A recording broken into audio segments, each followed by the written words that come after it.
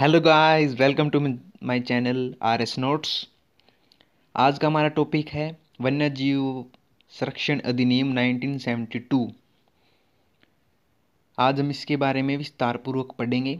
आशा आपको वीडियो पसंद आएगी। अगर पसंद आई तो इसको लाइक करें सब्सक्राइब करें और नोटिफिकेशन बेल को ज़रूर दबाएँ, जिससे आने वाली वीडियो की सूचना आपको मिलती रहे। आइए वीडियो शुरू करते हैं।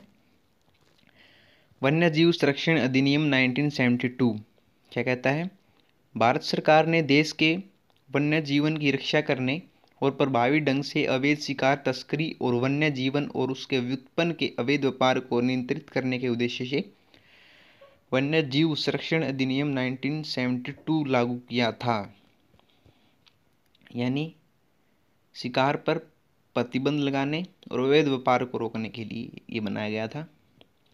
आइए इसके उद्देश्य पढ़ते हैं।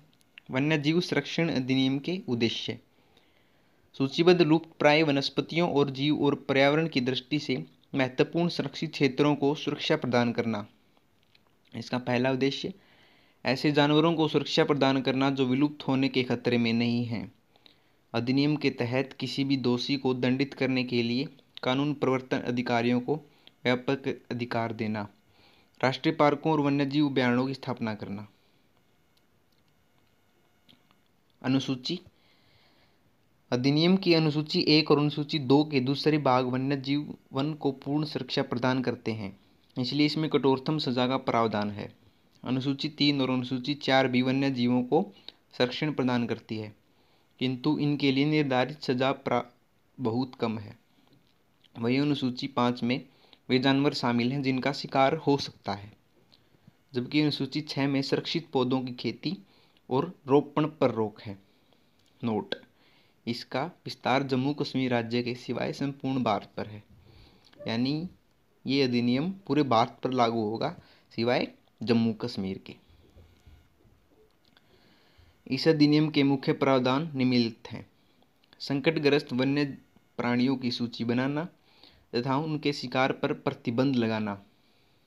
इसका पहला अधिनियम का प्रावधान है।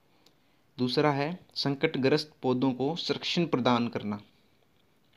राष्ट्रीय चिड़ियाघरों तथा अभ्यारणों में मूलभूत सुविधाओं को बनाए रखना तथा प्रबंध व्यवस्था को बेहतर बनाना। इसका चौथा है लुप्त होती प्रजातियों को संरक्षण देना तथा उनके अवैध व्यापार को रोकना। पांचवा है, चिड़ियाघरों व अभ्यारणों में वंशवृद्धि कराना वन्य जीवन के लाभों की जानकारी का शिक्षा के माध्यम से प्रचार करना। केंद्रीय चिड़ियाघर प्राधिकरण का गठन करना। वन्य जीवन परामर्श बोर्ड का गठन, उसके कार्य तथा अधिकार सुनिश्चित करना। इसमें सजा का प्रावधान है। आइए देखते हैं। अधिनियम के तहत बने नियम या शर्तों के उल्लंघन पर तीन वर्ष तक का कारावास या अर्थदंड, जो पच्चीस हज़ार रुपये तक हो सकता है। वन्य प्राणी के मांस आदि के संबंध में किए गए अपराध या अभ्यारण्य या राष्ट्रीय उद्यान में शिकार करने पर अथवा उसकी सीमाओं में परिवर्तन करने पर कारावास जिसकी सीमा तीन वर्ष से कम नहीं होगी, किंतु जिसका विस्तार सात वर्ष तक हो सकता है, वह जुर्माना भी दस हज़ार रुपये से कम नहीं होगा। यानी तीन से सात वर्ष तक की सज़ा होगी और जुर्माना भी दस हज़ार से ज़्यादा ही होगा।